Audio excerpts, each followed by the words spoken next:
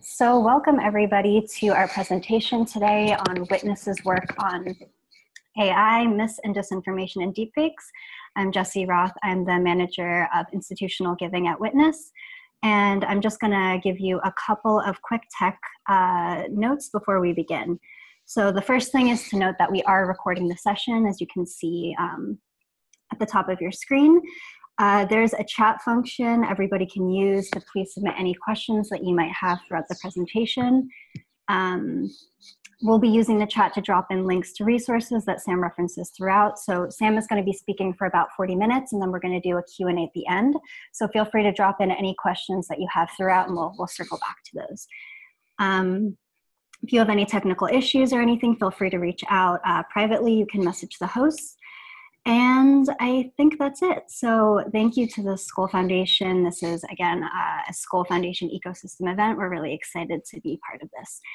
And um, yeah, just to kick us off, I think if people would like to put in the chat, um, we'd love to learn a little bit about who's joining us today. So you can write your name, uh, where you're joining us from, and what brings you here today. So what your interest in this topic might be. And with that, I'm going to turn it over to Sam Gregory, who's the program manager of Witness, who's going to uh, take us through a presentation. Thanks, Jesse. Um, it's uh, good to, to be online with you all. I hope everyone is taking care of themselves in this time. Um, we're going to um, take an opportunity here to share uh, some insights into understanding new ways people are creating mis and disinformation, um, how they relate to the current COVID 19 crisis, and how we prepare better uh, for future waves of mis and disinformation. We're going to build on an extensive strand of uh, Witness's work in this area. Uh, I'm pointing to two links on the screen uh, that you can see right there um, that provide both a brief background or if you wanted to share on information to others who are interested in this, and then an in-depth reading page. Uh, what we're going to cover in this presentation, and we'll leave um, uh, plenty of time for, for questions and discussion, both in the chat as we go along and, and as we proceed is um, first just to highlight why Witness is working on this and for those who don't know our work to, to explain a little bit about that. Uh, then to talk about COVID-19 and the current context of visual misinformation and disinformation uh, that many of us are encountering. Uh, and then really help people understand what are deepfakes, um, these technologies that enable people to make more realistic representations of people saying or doing things they never did. Um, and then how should we respond? I think it's really important to emphasize the options we have to prepare better uh, for these new forms of mis and disinformation. So um, let me just introduce Witness. Um, we are a global human rights network. Uh, we've worked for almost 30 years helping people use video and technology to protect and defend human rights.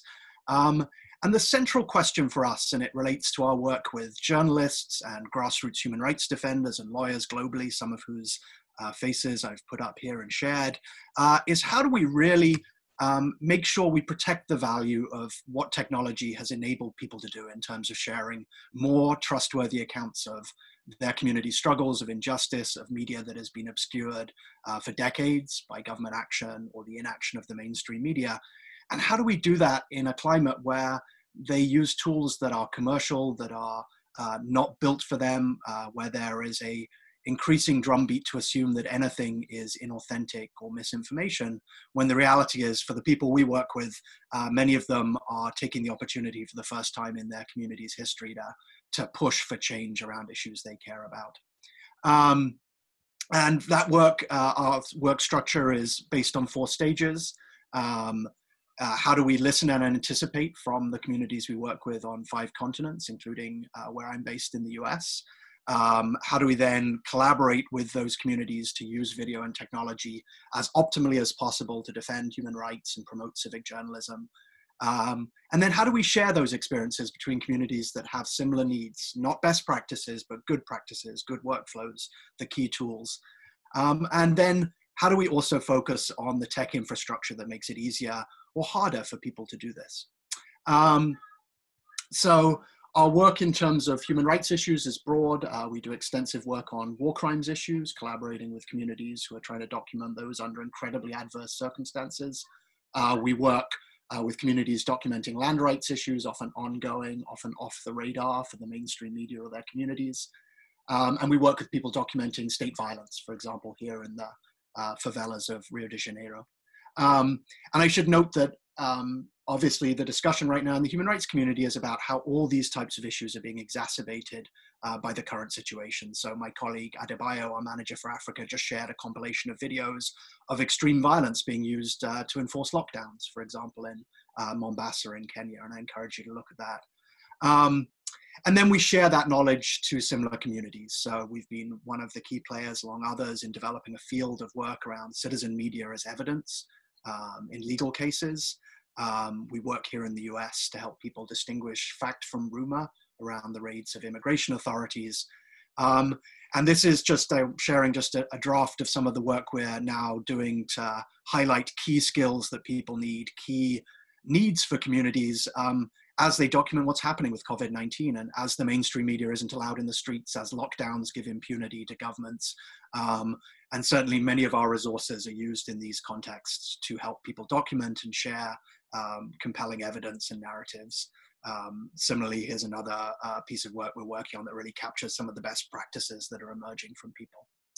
Um, and I want to talk now and move into the discussion around mis and disinformation about our work at a systems level. We believe very strongly that uh, you can't just support the capacity of human rights defenders and lawyers and journalists to document and share better if you don't also confront the reality that they do that within these commercial platforms that are largely unaccountable to them uh, and very distant and you can't you can support people with the right skills and tools but if you don't support them uh, to push for change at a platform and regulatory level uh, then you're handicapping their ability to be effective. Uh, and we work at multiple levels on this uh, but one key area we work on is misinformation and disinformation and particularly new and emerging threats like deepfakes. And we work at both ends of the spectrum. How do you prepare communities and how do you advocate at the systemic level? I'm going to talk about the solutions we're seeing in both those spaces um, so let me talk about the COVID-19 context um, first um, and what uh, we've been seeing, but also what key allies and groups we look to in this space are, are really documenting extensively. So I'm going to point to a number of organizations who've really had a laser sharp focus on dealing with mis and disinfo and what they're pointing to. Uh, and it's echoed in the experience of my colleagues working in Latin America and Africa, in South and Southeast Asia, in the US, and in the Middle East and North Africa. Um, so the first organization and what they've been uh, describing and capturing is First Draft. Um, and these are six types of uh, coronavirus misinformation they've identified, uh, cutting across origins to uh, symptoms to spread uh, to the appropriate responses. Uh, they've just launched yesterday an online course that people might want to look at for journalists that you can access at the link I've shared on the screen there. Um, and some of the examples I'm about to share come from First Draft's work, uh, and they're a close ally of witnesses. Um, I also want to point to what the um, International Fact Checking Network um, has been doing in this space. Uh, it's a global network of fact checkers who've, again, many of them been part of the work we've been doing around mis and disinfo, pointing types of content that are emerging around uh, COVID. Um, so, for example, uh, and I'll show some of these in a second, uh, you know, discussion about sort of sudden death, people falling down, uh, or false claims around testing and lockdown. Um, and finally, I want to point to the AFP's work, and again, uh, they've been part of a lot of our work over the last couple of years around um, verification and new forms of disinformation and misinformation, have a verification hub with many examples. Now, I'm going to share some examples of uh, COVID 19 misinformation, but what I want to highlight really clearly here is these really echo what we've seen over the last decade. These are the ways people deceive people with video and audio. Um, so, for example, on COVID 19, uh, you've seen a number of videos circulated claiming to show that. Um, you know, very aggressive detention of people with um, symptoms or um, with a claim that they are infected. Uh, the two examples on the screen are um, from China. And in this case, they're what we might call a miscontextualized video. And we see this in all kinds of contexts globally around human rights issues, where someone takes one video and claims it's another. It's an incredibly easy way to, um, to deceive, sometimes done with deceptive ideas, sometimes shared. Um, not really realizing that it's not what it is. Um, so these show people detained in a um, um, a simulation, but then shared as real. Um, similarly, this video claiming to show the Wuhan market is in fact from Indonesia. Uh, these videos claiming to show riots at a supermarket um, shared in um, the Netherlands and Germany um, and um, unpacked by many of the groups we just mentioned, as well as Bellingcat, um, are from previous events. They're not from now, but they're recycled into the current context. miscontextualized video. And as I mentioned, we've been documenting real video of uh, violence during lockdowns. We're also seeing miscontextualized video um, showing previous events. The two on the screen here are from Zimbabwe, um, claiming to show suppression of, a, um, of people violating a lockdown, in fact, from an earlier event. And then this actually a notorious video from the Hong Kong suppression of protests, recycled the one in the bottom right. Um, another one here claiming to show coffins or people uh, queuing up to get death certificates, but are actually from different things. And this is by far the most common form of video misinformation that Witness has seen over a decade of working in this space. Um, manipulated video is less common. Um, we have in the US, obviously, examples to mind like the Nancy Pelosi video, um, uh, examples in Argentina and in Philippines, a prominent women politician having their videos manipulated. Uh, this is one of Jack Ma, uh, claimed to show him praising China's response, actually splicing in audio from a different uh, source. Um, we very commonly see brand appropriation. Is a big concern for major media.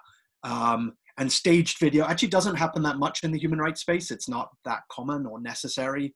Uh, there have been a couple of examples in the COVID um, situation that we've seen. This is actually a previous example from public health work documented by First Draft uh, of a staged video around anti-vaxxing um, in Pakistan. And so what I'm highlighting here is I think we need to place um, both our understanding of COVID 19 and also our understanding of deepfakes in this context of a decade of existing manipulation uh, that has happened. Mainly miscontextualized videos, but also some edited videos, some staged videos, um, often increasingly integrated into a series of disinformation strategies that um, I won't have the time to document in detail here, but things like the fire hose of falsehood, where you pump out multiple contradictory accounts, or disinformation tactics like exploiting a data void uh, which is when there is not information in a search term um, or using bots. Um, or laundering genuine content, but reframing it in a way that makes people understand it in a different way. Um, so we're going to pop up a couple of polls um, in the, the chat box. Um, please take those polls. They're very simple ones. Um, how much do you know about deepfakes? How concerned about you them, them now? Um, and how concerned do you anticipate being um, in the next five years, uh, just to get a sense of this, this group in terms of what you're thinking about this. Thank you.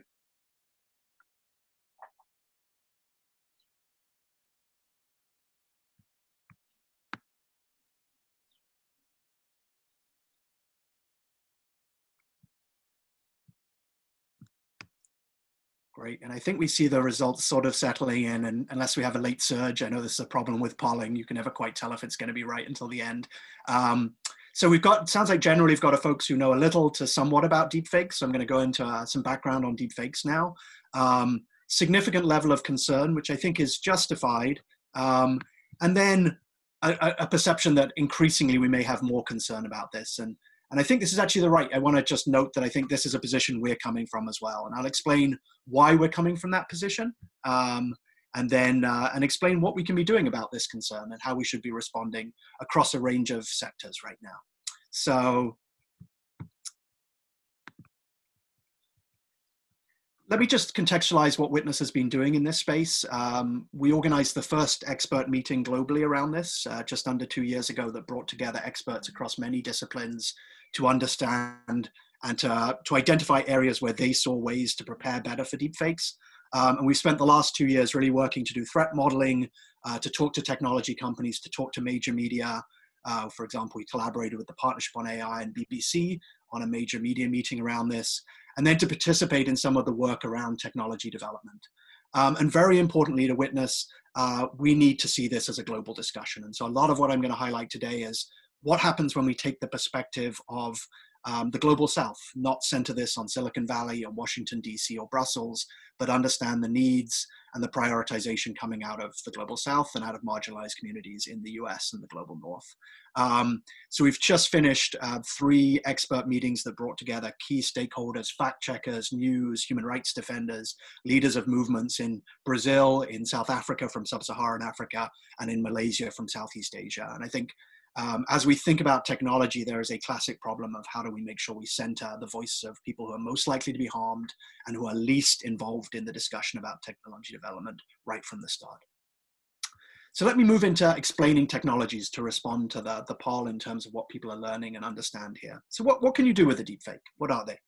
Um, so first thing to know about um, the uh, the AI systems uh, we use to generate fake images is t- typically they rely on training data. So, for example, to make a face a fake of my face, uh, you need to find what is called training data, which are images of my face that you can feed into a um, AI process, an artificial intelligence process, uh, in order to generate the fake. And much of the work um, that is happening around deepfakes, um, and deepfakes perhaps is the simplest way to think about them, are those face swaps that enable you to make it look like someone did or said um, something they never did. Um, is that the they are created by feeding this training data into a type of cat and mouse game between two what are called neural networks that compete with each other, one to create a forgery, the other to detect that forgery. And the reason we think of it as a cat and mouse is when the forgery detector detects a forgery, then the forgery maker uh, tries to improve. So it is a cat and mouse of improving the quality of forgery of a face or a voice or a person's body. Um, and I'm going to make this resolutely non-technical by pointing that there are many ways to do this with different types of architectures, some of which aren't exactly like what I've described. But the basic idea is you have this adversarial contest to create better fakes uh, using an increasing range of these um, what are known as deep learning networks. Um, and the most visible way people see these technologies deployed is in what we call these deepfakes. So, um, a couple of my favorite ones. I'm asking you all to join me in providing support and guidance to our children so that we can make a real difference. Of course, Melania Trump as um, uh, President Putin, um, or this very current to me looking at what people are saying on Twitter.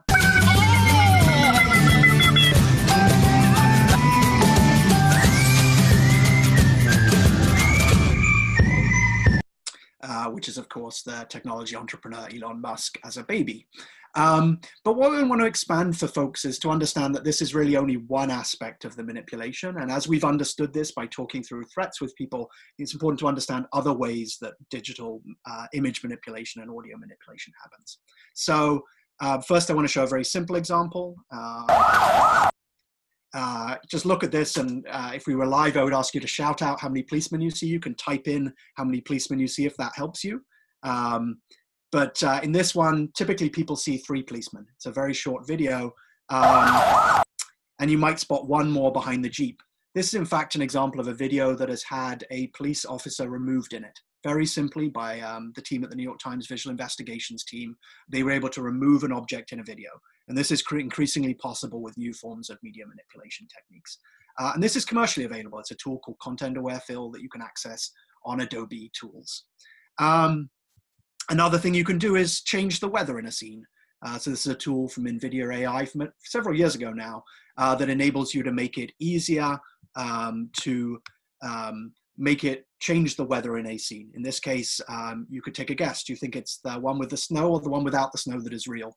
Um, we would do a poll. We haven't created one, but uh, take a moment and think. Uh, well, if you guessed it was the one with the snow, you were right. That is the real one. The one without the snow um, has had it removed. Um, and this is a AI technique uh, designed around automated vehicles. Um, let's move to another one. The ability to create an image uh, of something that never existed, a realistic representation of a real object. So this person does not exist as a site that creates uh, faces of people who look realistic but never existed. So the person on the right is a realistic face of a human, but it is not a real human. And you can see from the progress in this chart how quickly this has improved. And the consequence of this is you can now um, download, you know, up to 100,000 faces generated by AI. These are all look like real people, but they're not. Um, another aspect of this is what we might think of as the ability to create uh, realistic representations of people saying things they never did. Uh, so look at these Obama videos. Uh, I'm going to show a few more on this slide here. Um, I'm not playing the audio here. You're not missing something if you don't hear the audio. Um, so take a look at this. Which one is the fake one? Which one of these is not real? Is it top left, top right, bottom left, bottom right? Have a guess in your head. They're all fake. And what these are, these are ways in which people are manipulating the lips of an individual and the face of an individual uh, to match up with things. And the reason I'm highlighting this is perhaps the most sort of visible way in which these tools are being used at the moment um, is uh, sometimes to create fake audio of someone. So I can create a fake audio of my own voice using commercial tools. This is one called Lyrebird that's now been bought by another company uh, that sound relatively realistic. I sound Canadian when you listen to my voice, but if you don't know me well, you might believe I'm Canadian. Um, and then this is the flip side of that. And I'm not going to show this clip, but this uses a tool in which you can match someone's lips to an audio track. So here's a video in which David Beckham, you'll see in the top right, uh, speaks in Kinyarwanda and then he speaks in Mandarin, and then he speaks in Spanish, and then he speaks in French. And it looks like it's him saying it, but what it is, in fact, is his lips being matched to an audio track. Um, and, you know, this is a tool that is now commercially available uh, with certain parameters. And we just saw its use in an election in India, where a BJP politician used it to speak in two languages he didn't speak to his electorate, raising really complex questions around what we should trust and not and what is ethical. Um, and further out, we're starting to see some ways these tools can be used in combination. So, for example, you could edit a transcript of a video and the video would change in line with that. So, the audio and the video talking head would change in line with your editing of a transcript. For example, in this one, to make it, you know, as they use in this research paper, to change the stock price of Apple. Um, and then finally, I want to point to one area that is um, emerging, which is around uh, real people as puppets, where you make it look like someone's body is moving in relation to um, um, a computer algorithm driving it. So I'm going to show you a clip, and you'll see on the right uh, what looks like a real person. It's not. It's a representation of a real person, and their movements, their dancing, are being driven by the the the, the, the movements of a dancer, a real dancer, in the top left.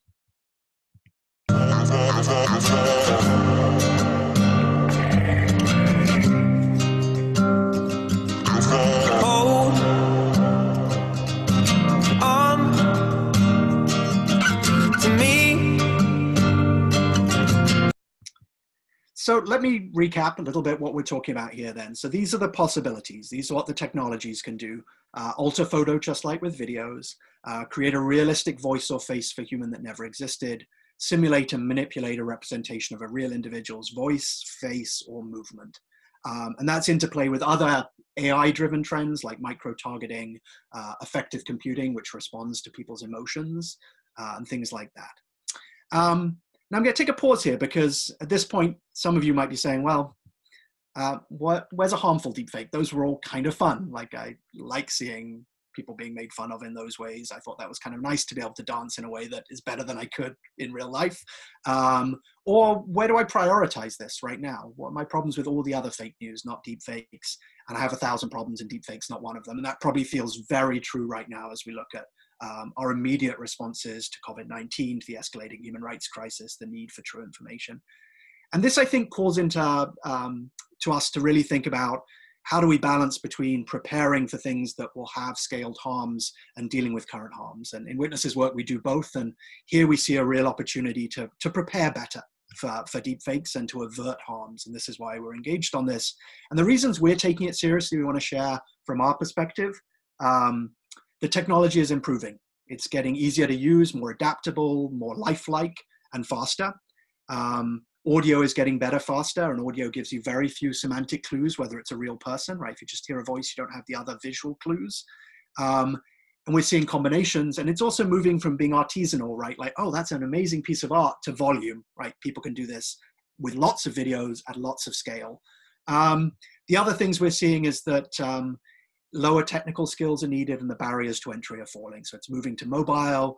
Uh, you can get access to deepfakes as a service and it's being commercialized within consumer tools. So as an example there, um, I was in Myanmar a few weeks back and people instantly recognized deepfakes because there was one circulating of the chief minister of the city of Yangon, um, his face put into a K-pop band. And we played it, and everyone came into the room to come to the session because they saw this deep fake that had been circulating in Facebook Messenger and in WhatsApp and things like that.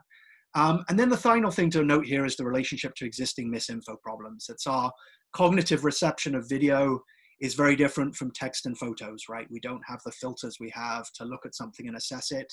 We misremember things.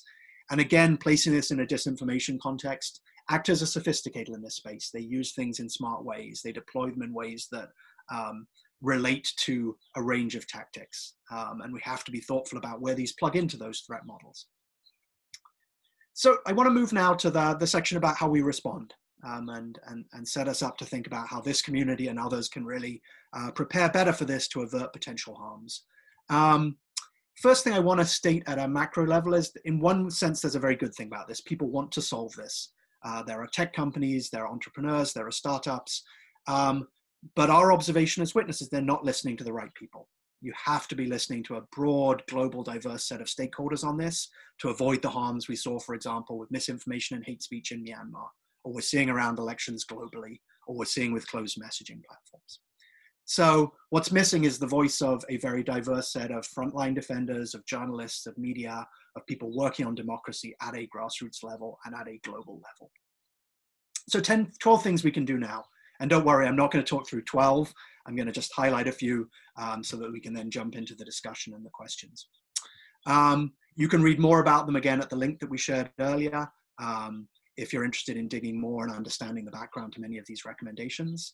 Um, uh, first one we want to highlight is the need to de-escalate the rhetoric and recognize it's an evolution, not a rupture, and that our words create many of the harms we fear. Um, I say this because much of the rhetoric around deepfakes implies we're surrounded by them now, uh, polling makes people think they're surrounded, or leads us to understand, in fact, that people think they're surrounded by altered media. When yes, there is a lot, but much media is not substantively altered. And in fact, there are many people trying to share truthful information as well, to go back to what we've seen in Witness's experience. So we need to de escalate the rhetoric. We need to keep calm. The sky is not yet falling. Um, but if we prepare, we can do better in dealing with it. The second thing we want to highlight, and I think this is really important, we frame this as a misinformation, disinformation conversation, but actually the real harms right now are in gender-based violence and cyberbullying with deepfakes, and those are real. They are right there happening to both ordinary women, to celebrities and journalists uh, globally. Um, one of the first stories that really paid attention to this was around Rana Ayyub, um, uh, talking about this in the context of uh, horrific attacks to her as an Indian journalist uh, prominent uh, in documenting rights violations in India. And then a report that came out from a group called Deeptrace highlighted um, that 96% of current deepfakes are pornographic or non uh, or, non-consensual intimate images.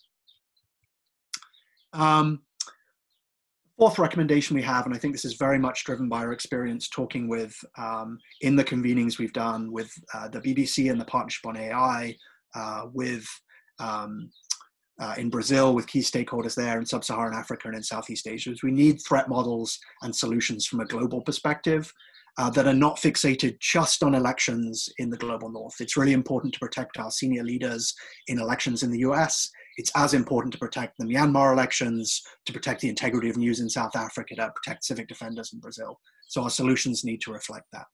Um, so we've done threat prioritization globally. Here's some images of that happening um, in some of the work we've done. And some of the things people have highlighted are actually coming from the outside, not from the center. That in fact, this magnifies the threats already experienced by marginalized groups, right? We know gender based violence was used and is used against prominent civic leaders. Uh, here's the example of Marielle Franco in Brazil, who was then assassinated. We see identity, false, identity falsification happening with many of the people Witness works with. And we also heard very clearly people saying this is going to compromise this hard won victory where for the last 10 years at least we've been able to show what's wrong and show the reality in northern Rakhine state in Burma, in Syria, in Yemen, in police violence in the US and in Brazil. It's not that we've developed proper systems of accountability and response, but at least we can show the evidence. And now people are saying this is going to attack this at every level, at a government level, at a uh, process level when we try and bring it in front of judges. Uh, it's going to reinforce the problems we already have with messaging apps. This comes up with all the existing uh, tools for misinformation sharing is when it gets shared in these sort of digital wildfire problems online. Um, and people note that this will overwhelm capacity. Most journalists don't know how to do media forensics. Certainly most human rights activists and investigators don't, or lawyers. Um, and most pernicious, it reinforces this sort of plausible deniability, the ability of anyone to say, that's a deep fake, prove it's not. Um, and we've seen that from politicians in multiple countries already. So I want to just recap. I think this is really important to highlight these perspectives that come from outside the center, from outside Silicon Valley. How do we center the most threatened leaders? How do we think about how this threatens video as evidence? How do we bolster the capacities of journalists and fact checkers? How does this further impact public trust? and how does this intersect with existing problems of digital wildfire, the way rumors spread very quickly, often in closed messaging apps. Um, so I want to just encourage you, like there's obviously a whole list of threats that could be concerned about, and I'm coming here from a human rights and journalistic perspective and a concern for the integrity of societies and our ability to share information. But we encourage you to add, and we'll capture some of these. What worries you about these technologies? That's a question um, we'd like you to respond to in the chat to the extent you feel comfortable. And then what threats do you worry about most in your context? Tell us to the extent you feel you can be granular and say very specifically this i worry about how someone's going to make it look like um, you know civic leaders in my community are drunk or are um, or it's going to manipulate the voice of um, key political leaders and lead to, to ethnic risks you know something specific or something general. I would really like to hear this. Um, we will i think there's a note in the chat about whether we're going to be broadcasting the chat side. We're not going to be sharing the chat side. We just want to clarify that we will share the video, but we're not sharing chat because obviously your names are in that. So I just want to clarify that this is not tying your names to this in the in the shared video. Um, fifth recommendation we have here is to promote cross-disciplinary approaches. I highlighted earlier the incredible work that's been done by groups like First Draft. Uh, Witness has worked in this space for a decade. Groups like Bellingcat.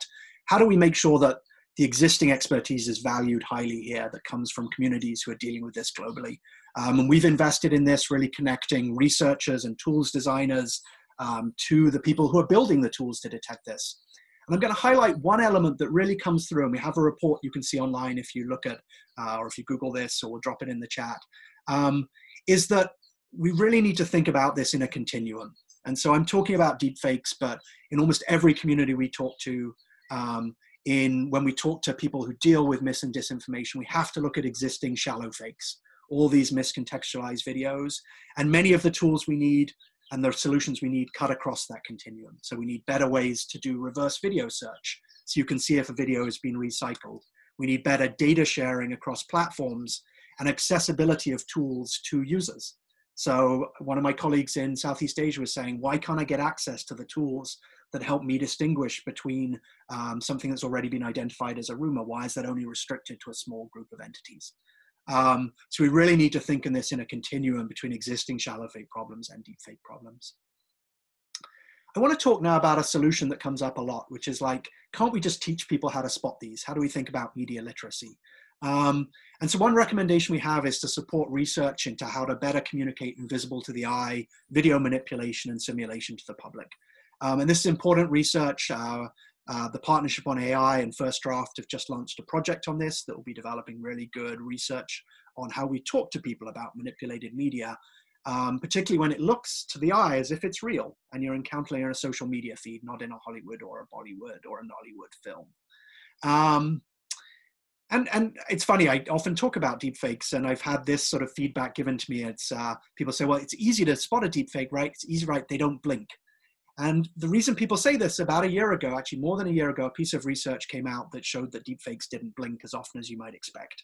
Uh, the problem with this is that the researcher who produced that research received a couple of weeks later, as you might expect, someone sent him a deepfake that blinked.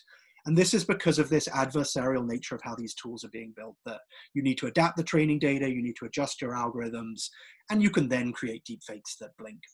And the underlying risk here is we shouldn't teach people to use the current weakness of the algorithm. It's kind of algorithmic heel, Achilles heel as a detection tip. It won't last. Um, instead, we need to help people really think about media literacy informed by technical signals. And what I want to highlight here is I think there's a tremendous value in the work that's being done by people around media literacy online. I'm going to point to a couple of the ones that we use in our training work and that we're looking to adapt uh, with the communities we work with. The SHEEP acronym that's used by First Draft, uh, the SIFT acronym that looks at stop, investigate the source, find better coverage, trace claims that comes from Mike Caulfield, uh, a media literacy expert in the US. But what we also need to do is recognize that technology does have a part to play here. So we need to think what signals do you need to give people that enable them to exercise this, right? So what is the technical signal that says there's manipulation in this video, you might want to sift you might want to go, bah, let's use the SHEEP acronym. So how are we doing that? Technology can intersect with media literacy and probably has to when it comes to this invisible to the eye manipulation. So this takes me to the role of technology and platforms. And I want to talk about that particularly because we're also seeing many things happening now in the COVID-19 context um, uh, that the platforms are doing. It's kind of been like an accelerant on existing trends. The platforms are doing so many things that many people were asking them to do before and some we weren't asking them to do. Um, so what is the responsibility we want from platforms around content moderation, around detection, and around authentication, i.e. proving what's real? So let me highlight a few things in this space. First, detection. There's a lot of work on how we detect deepfakes, and I'm not going to go into the technical details, uh, but to note that we document and survey on our website the different detection techniques. Um, some of them use the same techniques as are used to create a deepfake. They use these deep learning methods to identify deepfakes, um, the same adversarial process. Um, others use more kind of bespoke techniques. This is one that looks at the characteristic head movements of a world leader and how they move with particular words. So it's very bespoke, but helps see if uh, makes it harder for a deep fake to recreate that, that synchronization. And we're seeing real investment in this space. Actually, just two days ago, uh, a million dollar challenge launched by Facebook, Amazon, Microsoft, and Partnership on AI ended that was giving a million dollars in prize money for detection algorithms. Uh, and Witness has been part of a steering committee there with other civil society and major tech companies to try and make sure this uh, detection work really aligns with the needs globally, right? So how do we make sure that technology serves people uh, in a meaningful way, not just lip service? Um, and I want to highlight some of the things we've been bringing into that space because they really relate to how uh, it's no good having a detection tool if it doesn't actually meet global needs, particularly of vulnerable populations and um, non-mainstream media and journalists. So how do we make it available? How do we make it available in diverse platforms? Not just you have to download code. You, have, you can see it in WhatsApp. You can do it in Facebook. How does it make it relevant to real world scenarios like this gender based violence we've seen? And how is it available to a wide range of frontline fact checkers, not just the very esteemed media organizations like the BBC or CBC or the New York Times, but national level and local media who are the front lines of defending this? And how do you make sure it's explainable? It's no good just telling people that a deepfake has been detected, given people's justifiable skepticism about technology and what it tells us. So we have to be really nuanced about detection, and then we have to plug that into this media literacy I was describing, so we can help people understand this. Let me talk about content moderation. Again, um, there has been a lot of criticism, and it comes out of the human rights sector. Uh, Witness has done a lot of work on content moderation and seeing how the platforms take down uh, critical human rights evidence and don't take down hate speech. Um, and we're in the middle of a grand experiment literally right now with COVID-19 because most of the platforms have moved to a greater degree of automation of their content moderation than we've expected in the past. Um, and so the question becomes, what do we want the platforms to do? Um, and I would highlight that we've seen in the last few months, uh, Facebook and Twitter, and to some extent YouTube, releasing their new policies on this. And if you want to see more detail of our critiques on it, you can go online and see uh, our feedback on the Facebook policy that we were closely involved in feeding back on, and on the Twitter policy. Um, and I think what's notable about both of them, and we think they're both pretty strong policies, is they deal quite well with um, the idea of um, you know, really focusing, for example, on deepfakes where people can't detect the manipulation, uh, on focusing on whether they're deceptively shared and created. Their Achilles heel, their weaknesses, is how well they'll apply across a global set of circumstances where communities do not trust the platforms are resourced, understand the context, are not subject to political pressure to make decisions that will just turn this into another either tool that um, takes down things that it shouldn't or is manipulated and misused in power. Um, and they also note, and with all these policies, as to what extent they deal with the broader shallow fake issues, the broader problems. Twitter's does, Facebook does to a much lesser extent, at least to start with, although it is strong on how it deals with deepfakes.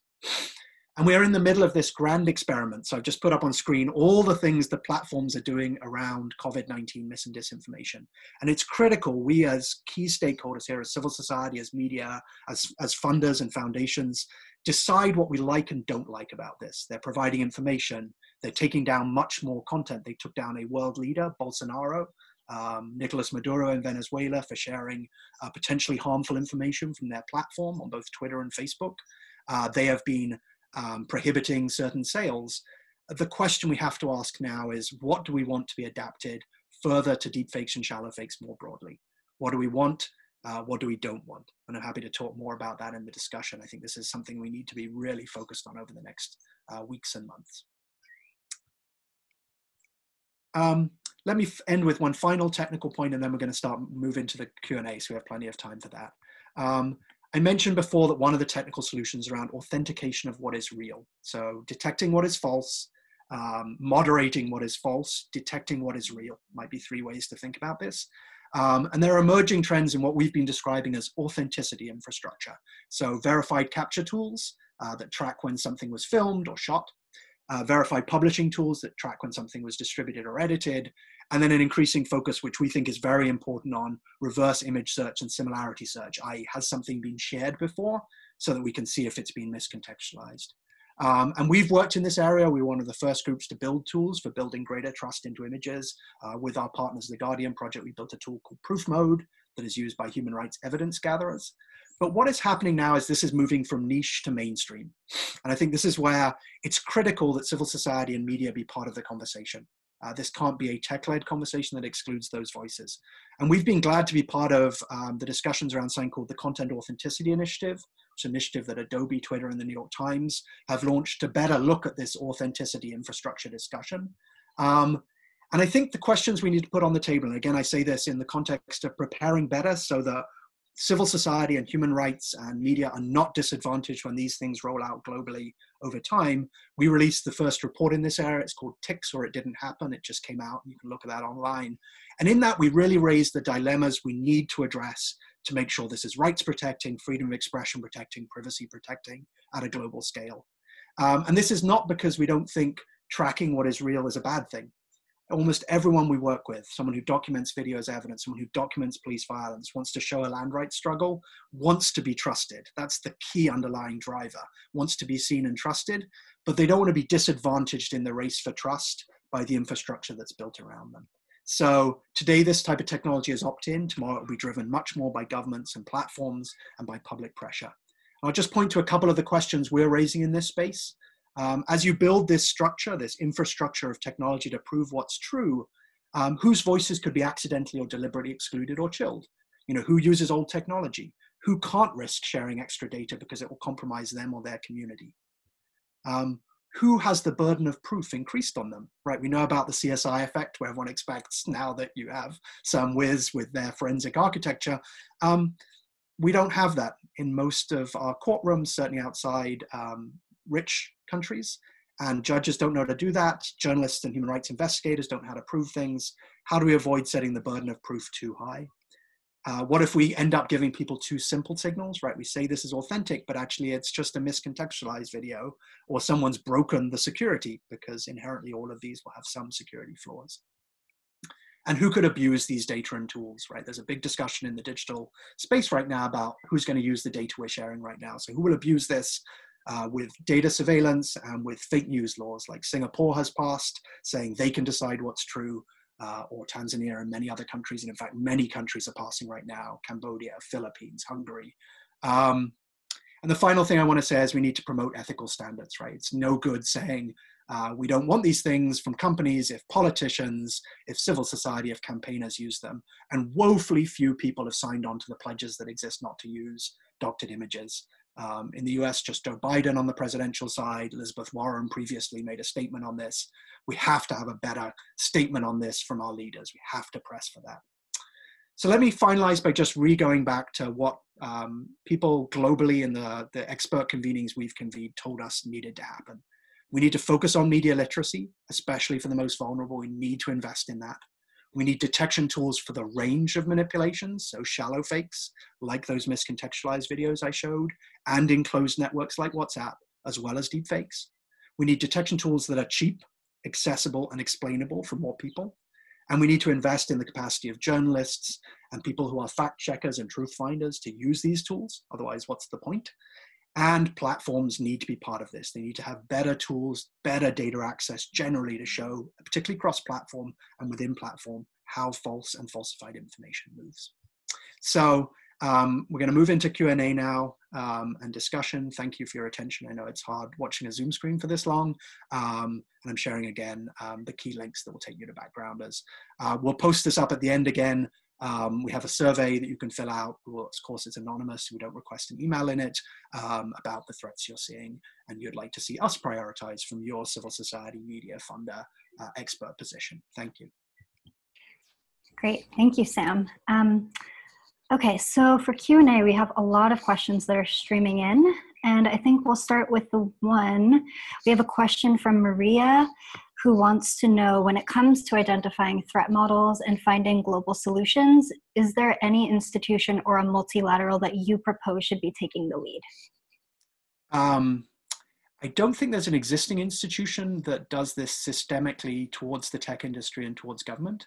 Um, and uh, we haven't seen anyone looking to do this. I think there's a real need for investment in a range of mechanisms that do this.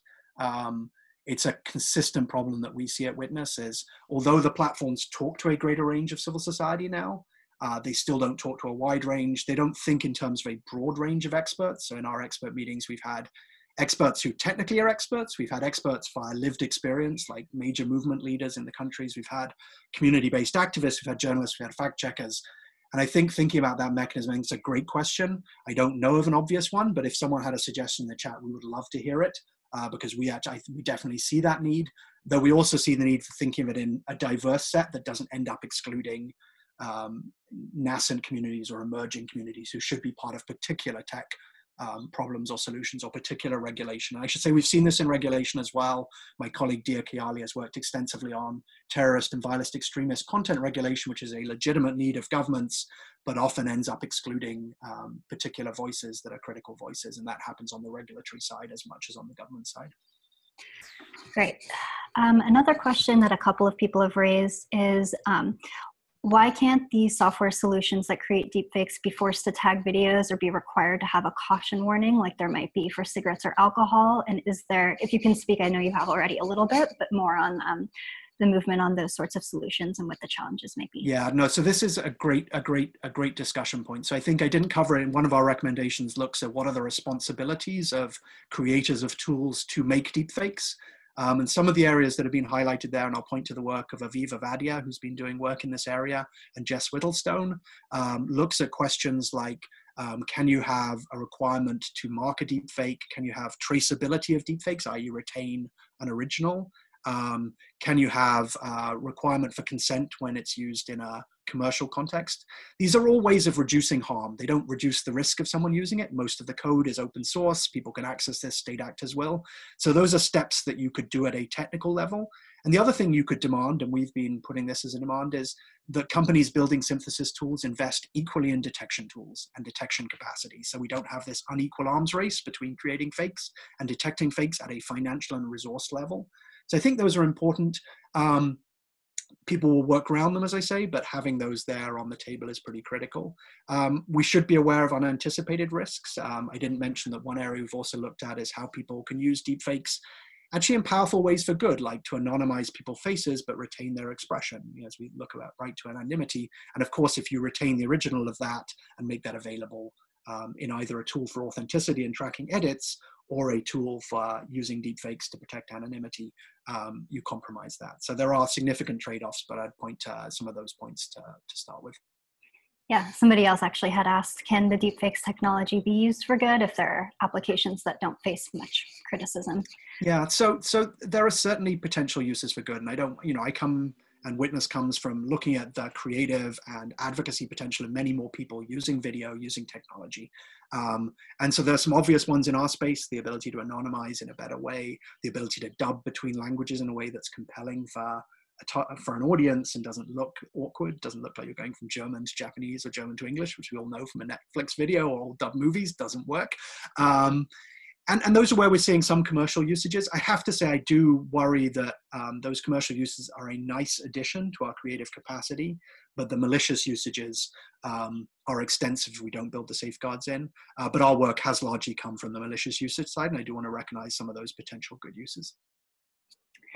Um, another question we have is, what is, with the evolution of tools for anyone to use them, use and create deepfakes, even on mobile with low-res cameras, what is the first step that people can take to test if the video or image they are seeing is or is not a deepfake? So I guess if you can speak more on the media literacy yeah. side. There, there are no um, good technical tools publicly available to detect deepfakes now. There are a few test tools for journalists that help them detect some forms of deepfakes, um, and there are none implemented in the platforms yet.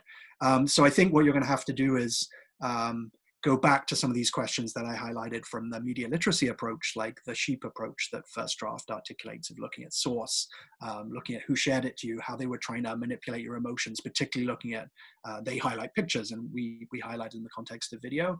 Um, I think the other thing is to recognize that many deepfakes don't need to be perfect to be dangerous and impactful. Um, so when we describe this phenomenon of misuse of um, um, of uh, deepfakes in non-consensual images. Uh, those don't need to be realistic to be deeply harmful to um, individuals' dignity, to their personal safety.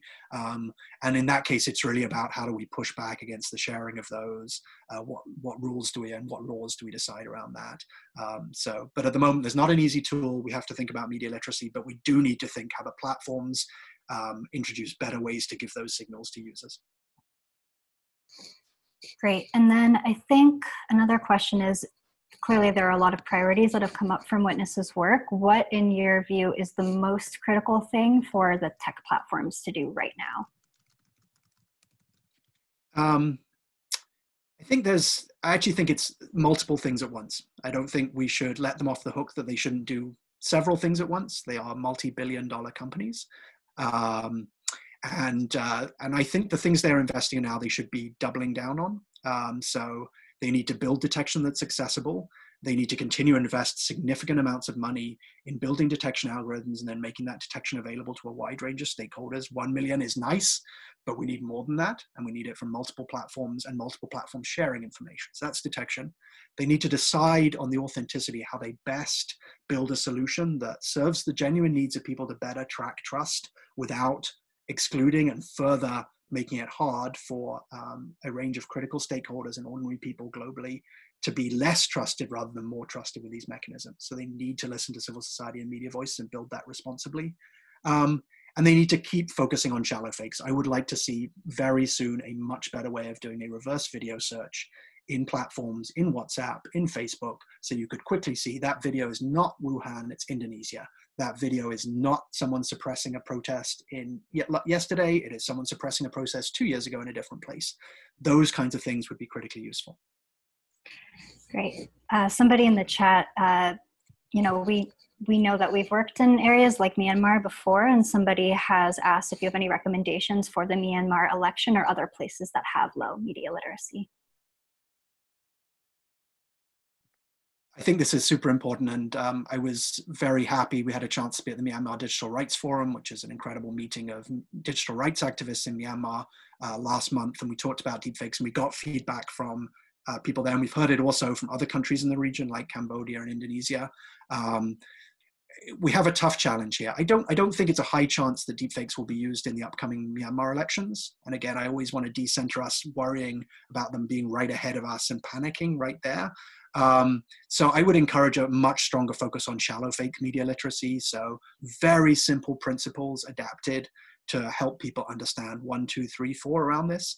The other thing we're actually focused on is I've just used two jargon words right there, shallow fakes and deep fakes. And then earlier I said miscontextualized video.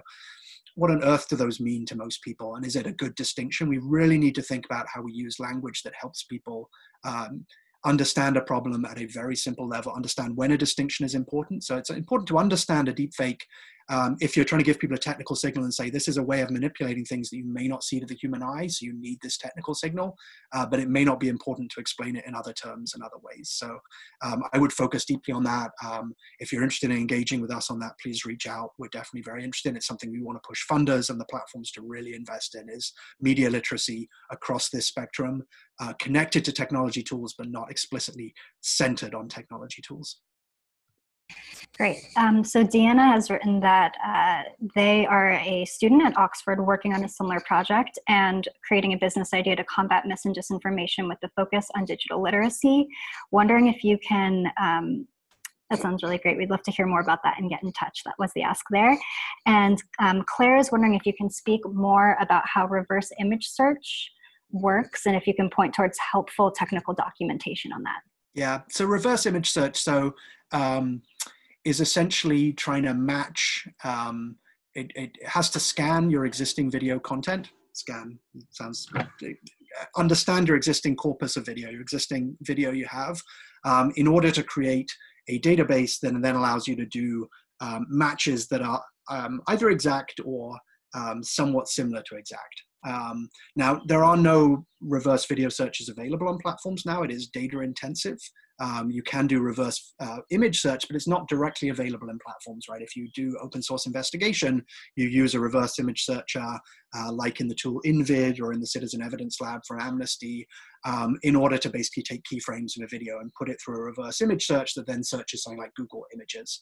Um, so with reverse video search, think of it that way, except on videos. Um, or think of it as reverse image search, but just done in a much more effective way in platform um, around. You know, there are different ways to do it, um, and there are different ways to do it that look at can we do this in a direct match way or in a fuzzy match way.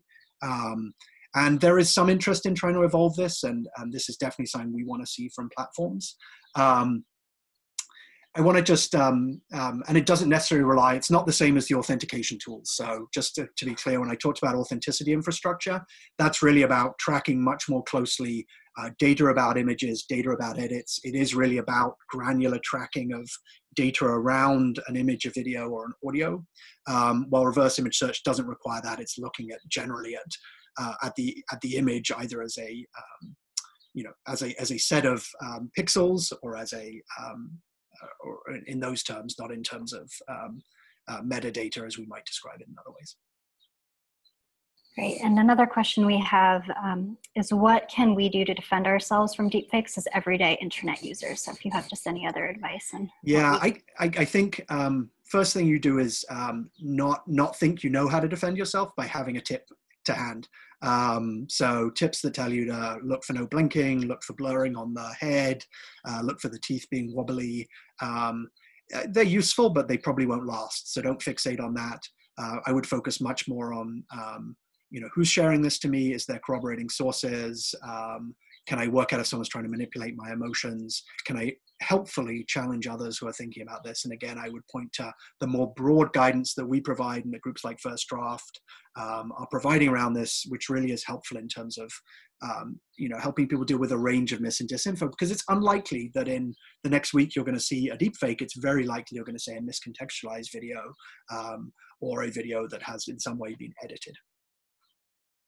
Great. And then I think to close us out, I just wanted to thank everybody who shared in the chat their um, concerns and their recommendations. So somebody's written a concern is the use of deepfakes to further polarize electorates, making it increasingly difficult to assemble the diverse coalitions necessary for climate action and other broad-based goals. So I don't know if you want to comment on that. yeah, all. that's that's something we've heard in multiple threat sessions. When when you center this on civic movements and you look at uh, existing strategies that are used to divide and attack movement leaders and attack movement integrity. Um, you know, it's a critical part of democracy is the ability to build coalitions. And um, yes, we've heard that. Um, and we, eh, and certainly if we look at existing strategies that have been used in organized disinformation campaigns, um, you would have seen that obviously in the work uh, around the um, Russian involvement in 2016 and then subsequent campaigns that evolved that. Great. So we have just one minute to go. So I think to, to end on a comment, somebody wrote, prior to this, I was pretty terrified about deepfakes. It's reassuring to hear that there are potential solutions. So thank you so much, Sam, for your presentation, and thank you all for your comments. Um, we hope you enjoyed the presentation, and like I said, we're going to follow up shortly with Sam's slides, um, the links that we've shared in the chat here, and uh, how to find, find out more about our work. Um, as well as with the survey. If you didn't catch the link for that, we'll be sure to send it to you. Um, so thanks so much, everybody, for joining us. Thank you, everyone. Bye.